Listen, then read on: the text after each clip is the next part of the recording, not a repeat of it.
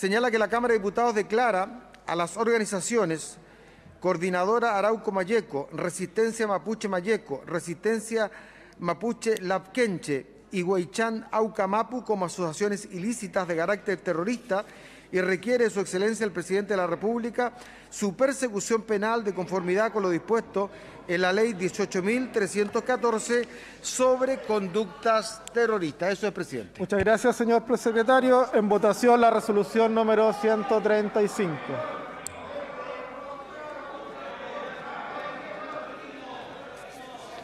¿Han votado todas las señoras diputadas y los señores diputados?